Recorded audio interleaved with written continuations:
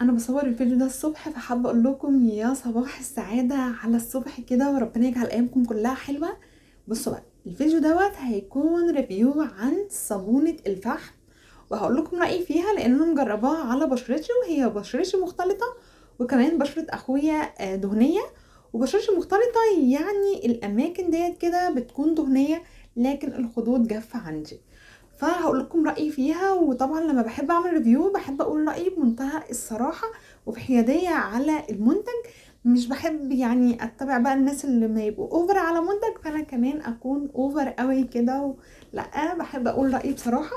آه، أتمنى الفيديو يعجبكم. يلا بينا نبدأ ال review بس قبل أي حاجة ما تنسوش ال like وال subscribe على الزر الأحمر تحت. الحاجة يا بنات خلينا نتكلم عن الصابونة ديت. هقول لكم هي مصنوعة من إيه. الصابونة دي بتكون مصنوعة من الفحم النباتي. الفحم حتى لما بنستخدم حبوب الفحم معروف إن الفحم بي بينقي البشرة من الأوساخ اللي بتكون عالقة فيها وبتكون عالقة في المسام. يعني بصوا بينظف البشرة جدا جدا. بصوا أنا أول حاجة اللي خدت بالي منها في أول استخدام ليها أنا استخدمتها كذا مرة علشان أقدر أقول رأيي فيها بمنتهى الصراحة مبحبش رد الفعل يكون على طول كده من أول مرة. أول حاجة حسيتها في الصابونة دي لما استخدمتها ان بشرتي بتزيق من النظافة. عارفين يعني إيه بتزيق من النظافة؟ أنا حسيت ان بشرتي حرفيا نظيفه جدا بتزيق كده. حتى الأماكن الدهنية عندي من كتر ما هي نضفت. ده أول حاجة. بس خدوا بالكم حسيت في الاماكن وبالذات الأماكن بقى الجافة حسيت لا بشرتي بدأت تكون جافة جدا جدا جدا أكتر. وحسيت إن هي مش مناسبة نهائي للبشرة الجافة بصراحة ومش هتكون كويسة خالص على بشرة جافة. هي فعلا بتجفف البشرة جدا بس ده ليه؟ هي بتحد من الإفرازات الدهنية اللي بتكون موجودة في البشرة الدهنية.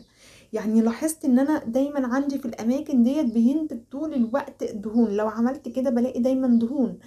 فبجد لقيت إن لأ فرقت معايا جدا وحدت لي جدا من إنتاج وافرازات الدهون اللي بتكون موجودة في البشرة. يبقى أول حاجتين لاحظتهم اللي هي زي ما قلت لكم بتنضف البشرة جدا ولو حد مسامه واسعة وبيلم بقى عارفين أنتوا المسام الواسعة بتلم كتير جواها لأ هتنضف لك بشرتك فعلا وكمان هتحد جدا من افرازات الدهون.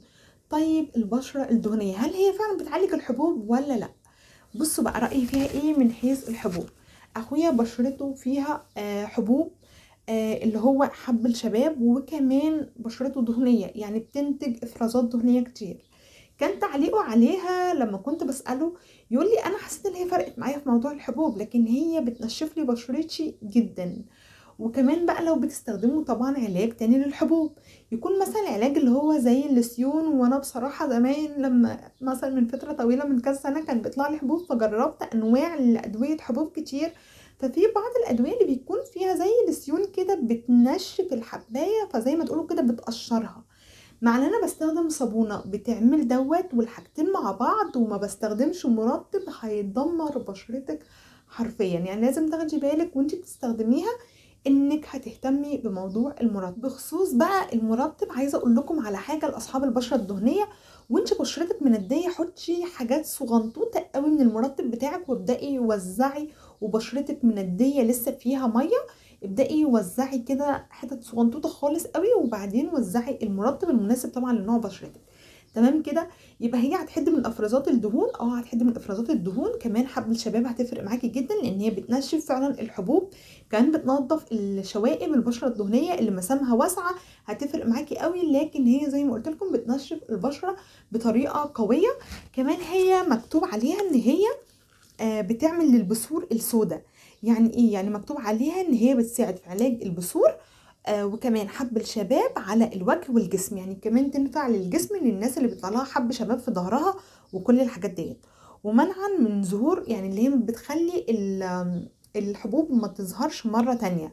تمام كده؟ لأن هي آه في بعض الناس اللي مسامها بيلم زي ميكروبات بتطلع ده بيخلي البشرة تطلع حبوب. وكمان لما بيكون في إفرازات دهنية زيادة فبالتالي بتطلع على هيئة حبوب. فهي طبعا لما بتحد من دوت بتخلي الحبوب ما تطلعش مرة تانية وبالذات للناس اللي عندها حبوب من النوع اللي أنا ذكرته. تمام. وكمان تنظيف البشرة وتخليصها من الأوساخ العالقة بيها زي ما قلت لكم اللي هي بتنظف المسام جدا. والتخلص من مشاكل البشرة الدهنية وأهمها لمعان البشرة. طبعا بما إنها بتحد من الدهون اللي موجودة في البشرة الدهنية فبالتالي مش هتلاحظوا بقى اللمعان اللي بقى موجود في البشرة اللي دايما تقولي أنا حاسة إن بشرتي بتلمع من كتر الدهون اللي هي فيها. وتضييق واغلاق المسام المفتوحة ومنع الأوساخ من التراكمات فيها. بخصوص المسام دايما لما إحنا بننظف البشرة بشكل كويس المسام بيبدأ اللي هو يعمل على انقباضات. طول ما أنا بستخدم make up وبستخدم حاجات تكون مضرة وسايبة المسام بتاعي من غير ما انضفه ده بيخليه يوسع أكتر وأكتر وأكتر. عشان كده دايما هتلاقوا الحاجات اللي بتنظف البشرة بعمق بيقولوا إن هي بتساعد على تضييق مسام البشرة. أنا بس حبيت آه اللي أنا فاهمكم عشان ما حدش مثلا يفكر إن ده شيء معالج للمسام. حتى مثلا يبقى أفضل ومظهرها يبقى أفضل لكن طبيعي إن إحنا بشرتنا يبقى فيها مسامات يعني ما بتبقاش سيراميك ولا حاجة بس عشان تبقوا عارفين. بس كده هي دي أهم الحاجات ولو حد حابب يسأل عن أي حاجة يكتب في الكومنتات. bye bye وأشوفكم في فيديوهات